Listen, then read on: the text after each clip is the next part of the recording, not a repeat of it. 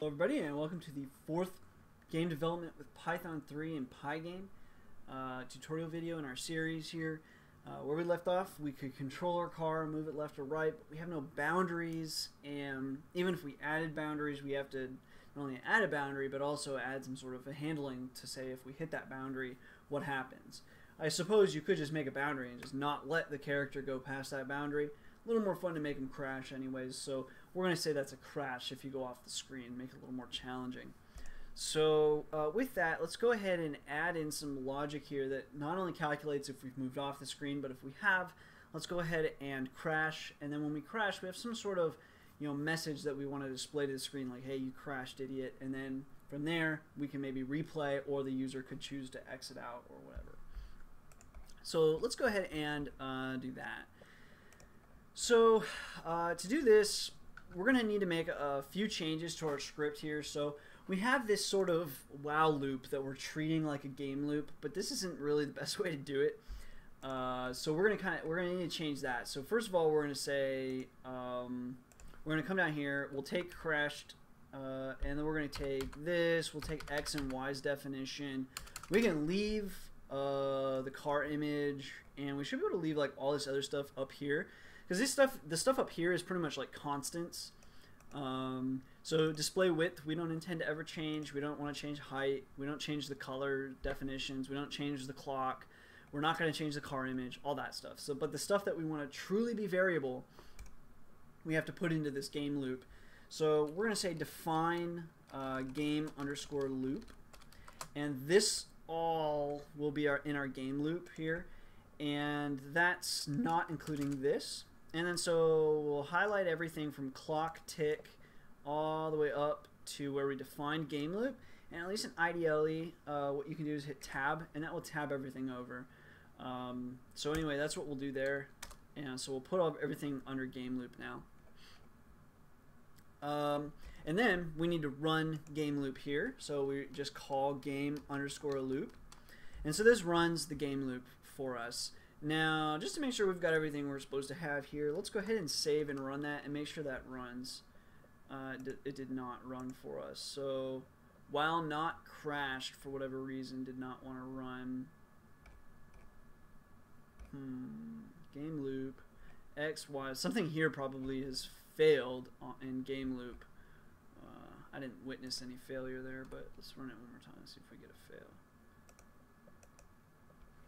Hmm.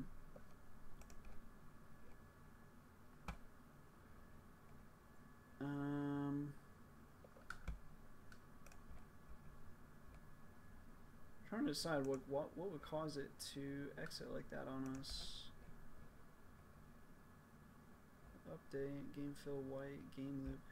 Oh, man, amateur. That's probably it. This game loop just references the game loop font. Man, what an amateur. Anyway, gotta have your parameters there. There we go. I was like freaking out. Okay, so left, right, cool. So our game loop works uh, as long as you're not a big idiot like me. uh, yeah, so anyway, when you want to make a function run, you have to put the, the empty parameters behind it, um, or after it rather. Okay, so our game loop now is displayed correctly. Now, the next thing we want to do is we don't necessarily want to leave the game loop just because we crashed. Uh, we only want to really leave our game loop when, because um, basically game loop will continue to run, and as soon as whenever game loop is done running, we're going to run quit. So if we crash, that's going to quit the game. Maybe the user wants to play again. So we don't really want that to be the case anymore. So actually, we're going to say uh, we're going to call we're going to change crashed to game exit, and then while not game exit, we run this loop. So it'll still run this loop um, and do all the things that we wanted to do. And now we're ready to handle specifically the crash uh, sequence. Um, now don't get your hopes up. We're not actually going to like have the car break up or anything. Uh, feel free to do that at the end if you want. But um, actually, we just need to handle what happens when the user crashes. So uh, we'll leave that. Uh, good. Let's let's just check our logic real quick. Make sure it works. Everything seems to be working. So we'll leave. For some reason, it doesn't want doesn't want to exit though. I know why. Yeah, okay, so instead of right, so our, our quit command is still being called crashed. So anyway, So we're, we're assigning true to crashed. So that was the problem. So so we have game x equals false while not game exit. But then if the event type is a quit, it has to be game exit equals true. I had left crash there. Another perfect example where you're like trying to hit the X and you can't quit. You can do that to your to your uh, to your little gamers too, if you want. If you want to be really mean, I suppose you can do that.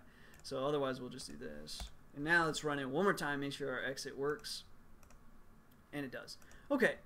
So now we're ready to kind of add um, some more logic uh, to things. So uh, the first thing we want to ask is if the car, because we don't have anything to run into yet, but we do have edges, and we want to like enforce crossing over the edges, and we're going to enforce that with a crash.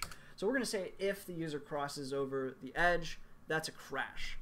So um, we'll allow everything to happen. Actually, I was going to do it there, but we'll allow the change to occur, the game display to update everything, but then down after we've drawn the car, um, hmm,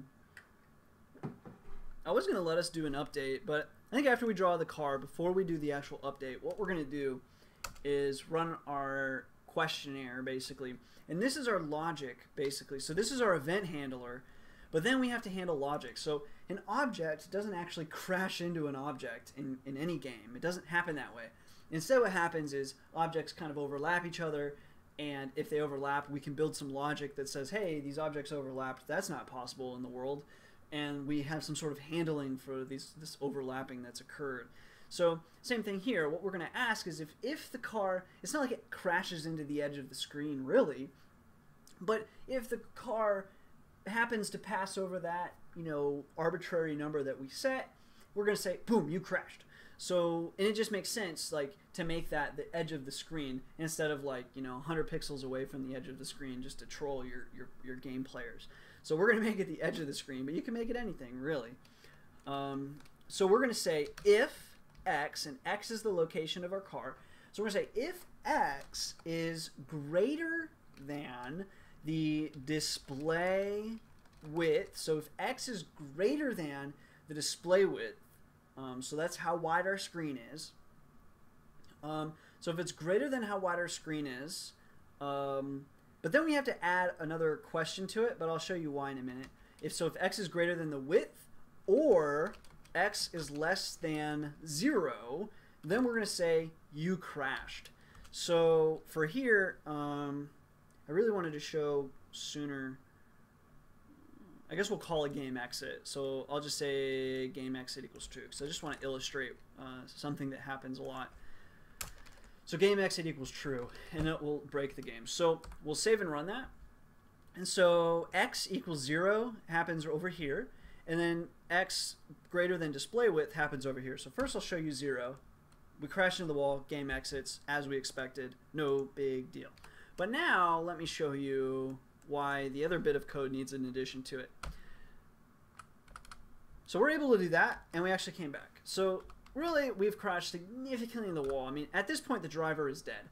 So what we have to uh, understand is X, again, is right here. It's this top left corner. So that's why over here it worked, but over here it's not going to work until you're like all the way over, okay? So to remedy that, we have to account for this. So uh, the question was if x is greater than display width, but it's not greater than display width. It's greater than display width minus uh, car width. So what's the width of our car? Now we have not defined car width. How do we know what the width of our car is? Well, if we go over uh, to our image, we can find out what the width of our car is. In my case, it's you know it's the width of your image basically. So after you've made your little image, you're going to want to you know make the square as tight as you can. And my image width happens to be 73 pixels. So we're going to say car underscore width equals 73. You need to use what, if you use my image, then it's 73, but you would need to use whatever image of your, or width of your image, um, whatever that is. So we'll come back down here, and now we've got car width. So now when we run this, and we take our car, and we crash over to the edge, we actually have a true, you know, we crashed. so, so it's useful to, to, to, uh, to include that that width stuff. and it's and you have to keep this in mind because as you have objects as well, if you just reference X, that object could crash in, but as long as it doesn't cross over the upper left, then you'd be fine in theory. So you have to take this into account as well. So anyway, uh, that's our first uh, showing. I thought I was going to also include um, the game over sequence, but I think we'll we'll save that for another video. This one's already 10 minutes somehow. I don't remember how we how we got to 10 minutes, but anyway, uh, so we're going to do the crash sequence or really game over sequence uh, in the next video. So stay tuned for that. If you guys have any questions or comments, as usual, leave them below. And also, as usual, thanks for watching. Thanks for all the support and subscriptions. And until next time.